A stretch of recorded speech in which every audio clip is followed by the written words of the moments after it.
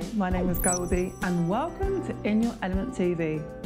The earth element is the one that vibrates our energies of safety, grounding, fear, or courage. So, feeling safe and protected has a lot to do with this element. We will be working on your physical body, which is represented by the earth element. So, remember to like, subscribe, and notify so we can all go through these times together. Today, we will be talking about grounding.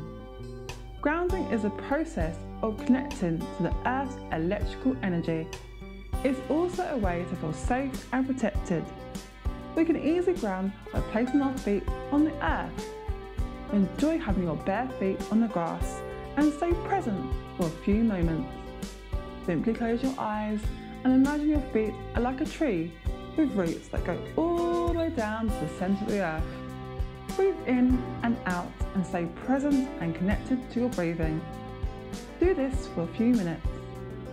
If you want to be more grounded so you can feel anchored, strong and safe energy within yourself, listen to my episode, Grounding Process for Children, here at In Your Element TV.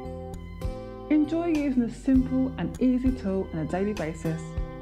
If you have any specific requests or content ideas, please write a note in the comments or contact us via our website or social media platforms. This is me, Goldie, signing off for now. Ciao for now!